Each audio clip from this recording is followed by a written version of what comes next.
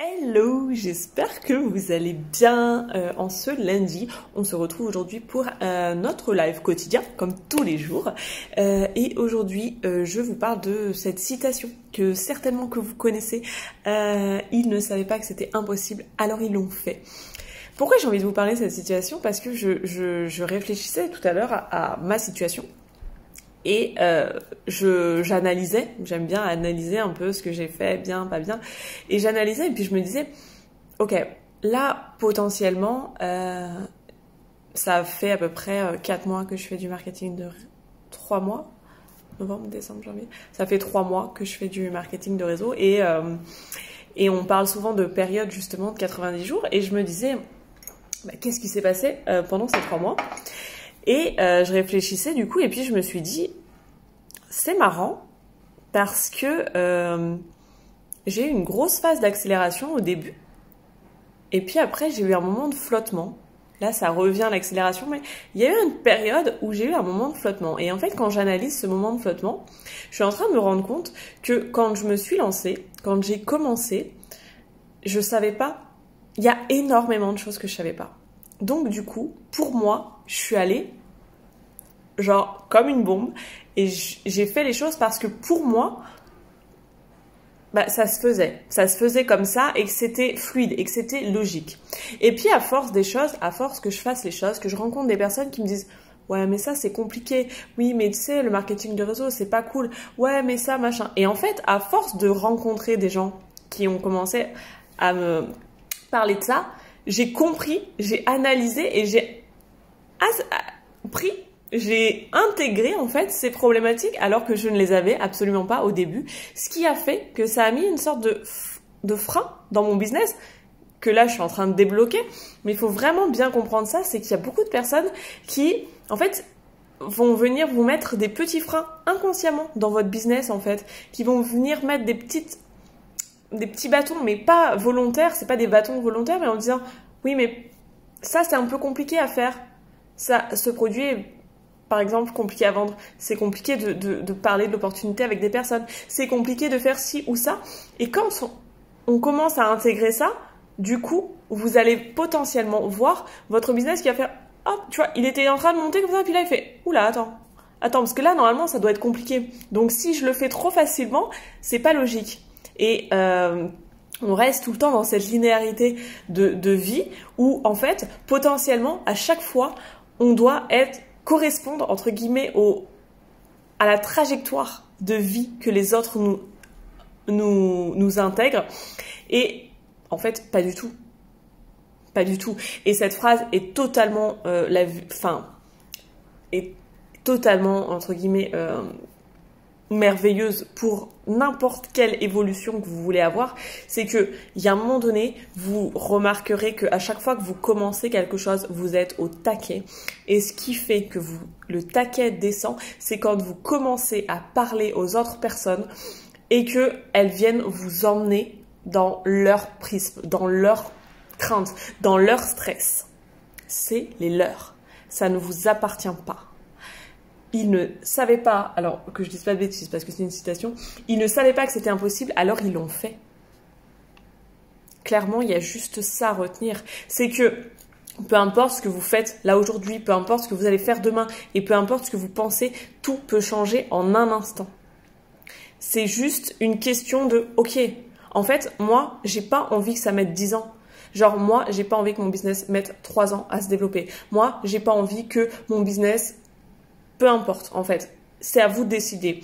Moi, j'ai pas envie que ma vie de couple ressemble à ça. Moi, j'ai pas envie que mes enfants euh, fassent telle ou telle chose. Moi, j'ai pas envie. En fait, c'est à vous de choisir ce que vous avez envie de faire, mais toutes ces choses qu'on entend de ça prend du temps, de c'est compliqué, de euh, c'est pas possible, de euh, tu peux pas vendre de produits, de c'est la crise, de c'est pas la crise, de il y a du travail, de il y a pas du travail. Bref, toutes les injonctions que vous pouvez entendre jour après jour, c'est à vous de les dégager en fait. Et c'est à vous de décider. Il n'y a pas de normes. Moi, je suis une coach, par exemple. Je suis une coach qui, euh, en un an, est passée de 4000 euros à un demi-million d'euros, je crois. Il n'y a pas de normes.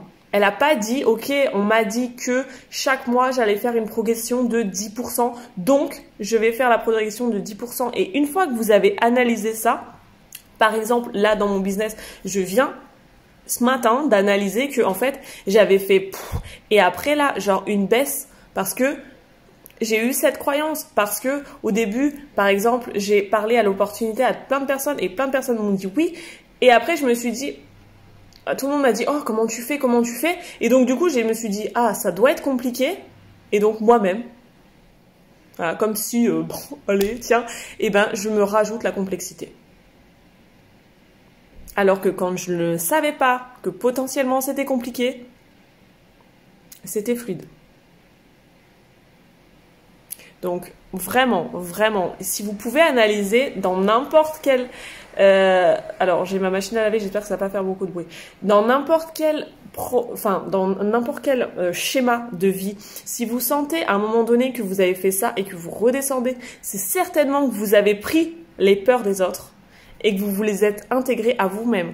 Mais il en va de votre responsabilité de dire ok à partir d'aujourd'hui je switch cette énergie, je change d'énergie et je reviens dans la première énergie. Et les croyances de ces personnes-là qu'elles m'ont offert gracieusement, je les remercie, mais je n'en veux pas. Je crée mes propres croyances. Et quand on parle de propres croyances, c'est vraiment ça. Donc, analysez un petit peu. Et si vous voyez que peut-être potentiellement votre business pour l'instant, il décolle pas de ouf, c'est peut-être parce que vous, il faut changer votre mindset je le dis, je le répéterai pendant un an, il me reste encore plus de 300 lives à faire. Vous allez m'entendre le dire, le redire et le re-redire, mais tout est une question de mindset.